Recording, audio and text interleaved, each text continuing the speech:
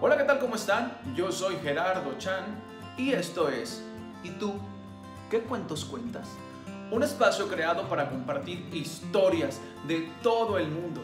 Así es, si tú eres amante de los cuentos, de las fábulas, de las historias, si te gusta ver a personajes sin iguales vivir aventuras extraordinarias, este es un lugar para ti. Así es, en estos días en donde tenemos que estar en casa, protegidos, mm, pues hemos tenido un material dispuesto para todos ustedes. Así que, si estamos listos y listas, podemos empezar con nuestro primer cuento. Allá vamos. Lalo era el típico niño que le encantaba andar en bicicleta, jugar a los patines, al fútbol y subirse a los árboles. Era el típico niño que le encantaba esperar el día de su cumpleaños para recibir muchos regalos. Lalo y Lolo se conocieron en una de las fiestas de cumpleaños de Lalo y desde ese momento se volvieron los mejores amigos del mundo. Hola, yo soy Lolo y tú. Yo me llamo Lalo. El niño de la fiesta. Desde ese día salían a jugar todas las tardes. A los patines, los trompos, a las canicas, a las carreras. Se habían vuelto simplemente inseparables. Lolo era un niño que no le tenía miedo absolutamente nada. Le daba lo mismo aventarse de la cima de la colina rodando hasta llegar abajo que tirarse de los trampolines más altos a las albercas más profundas. A Lalo le encantaba andar en su bicicleta verde que le habían regalado sus papás en uno de sus cumpleaños y pasaba por Lolo todos los días para ir juntos a la escuela. ¡Lolo! ¡Apúrate que vamos a llegar tarde a la escuela! Ay, perdóname, es que no encontraba mi gorra. Se me había perdido. Y es que Lolo y Lalo se habían comprado la misma gorra como señal de su amistad. Por otro lado, Lolo le había enseñado a Lalo todas las palabras nuevas y chistosas, ya que como Lalo había llegado de otro lugar, no se las sabía y eran nuevas para él. Andar en la bicicleta está bien machín, ¿verdad, Lalo? ¿Machín? ¿Pero qué es machín? Es bien curada. ¿Curada? ¿Pero qué es curada? Ay, pues curada. Cu- Curada es, es. Pues es como. ¡Ah, ya sé! Curada es como cuando te caes de la bicicleta y tu mamá te pone así una cosita en el raspón y ya te queda curado. No, no, eso no, no. Es como. Es como. eh, como cuando dices que está bien padre. ¡Ah! eh, padre como cuando vas a, a- a la iglesia y el que da la misa así como el padre. No, ese padre no. Machín es como divertido. Sí, como divertido. ¡Ah, bien divertido! Entonces andar en la bicicleta es bien machín. Lalo marcaba con un plumón rojo los días que faltaban para su cumpleaños en el calendario, porque decía que el rojo le daba la fuerza necesaria para esperar hasta ese día. Por fin, el día tan anhelado del cumpleaños de Lalo llegó. Y Lolo fue el primero en ayudarle para que todo estuviera listo. Rompieron la piñata, partieron el pastel, dieron los dulces, salieron los payasos, pero había algo en la cabeza de Lalo que no le dejaba de dar vueltas. Y era que quería empezar a abrir los regalos. Oye, mamá, ¿ya puedo abrir los regalos? ¡Ay, qué emoción! Lalo, yo te he traído un regalo, toma. Gracias, Lolito. ¡Ay, qué es! Ah, ¿Te ha gustado? Lo hice con mucho cariño para ti. Es un pisapapeles. Pero es una piedra. Sí, y la he hecho yo mismo. Le puse tus colores favoritos. ¿Te gustó? Sí, está muy bonito. ¡Mamá! ¡Hay más regalos para abrir! Creo que no le gustó mi regalo. Y es que Lalo no pudo ocultar que el regalo de Lolo le había gustado menos que la consola que le habían regalado sus papás. Ahora, Cada vez que Lolo iba a buscar a Lalo a su casa para salir a jugar, Lalo siempre se inventaba un nuevo pretexto para no salir. ¡Lalo! ¡Lalo, estás ahí! Oye,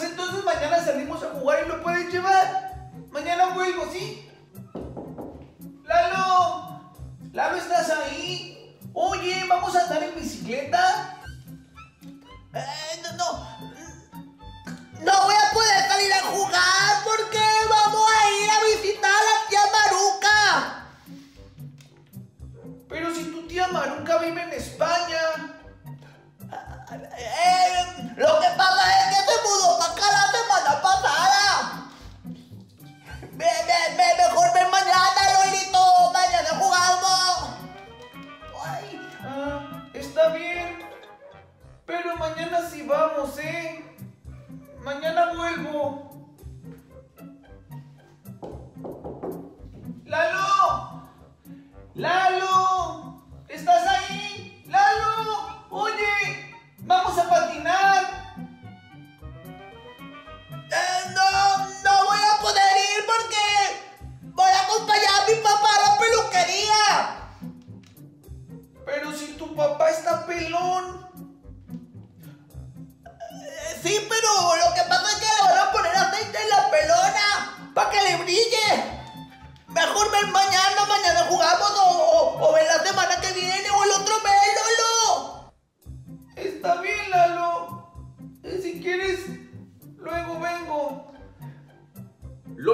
Se sintió tan triste que se fue a la casa del árbol en la cima de la colina.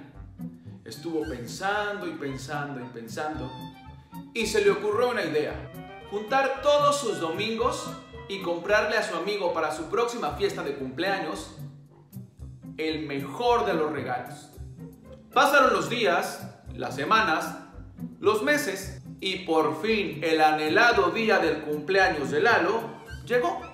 Partieron la piñata, rompieron el pastel, dieron los dulces, salieron los payasos, pero en la cabeza de Lalo solo estaba abrir los regalos.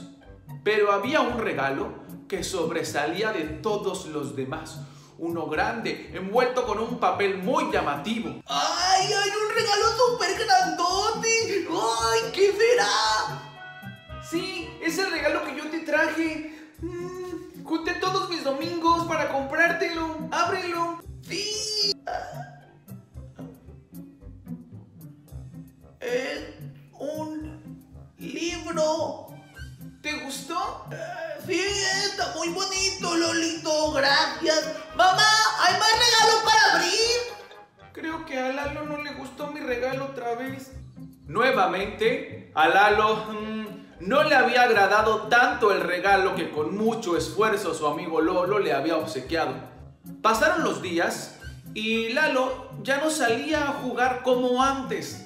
Se la pasaba en Facebook, jugando videojuegos, viendo YouTube. Ahora hasta tenía ciberamigos.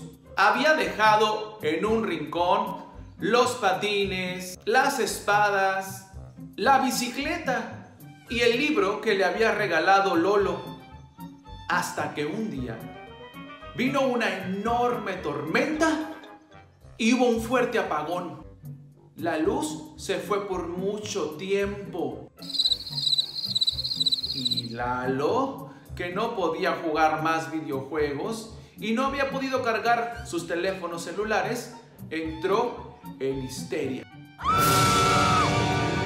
Así, como no tenía mucho que hacer, volteó hacia el rincón y vio las cosas con las que antes jugaba y recordó a su amigo y lo feliz que eran. Así que tomó el libro y empezó a leerlo. Conforme lo iba leyendo, se iba imaginando todas las historias que estaban allí escritas e imaginaba que él y su amigo Lolo eran los protagonistas. Muy entusiasmado, después de leerlo, agarró su bicicleta y se fue velozmente hasta la casa de Lolo.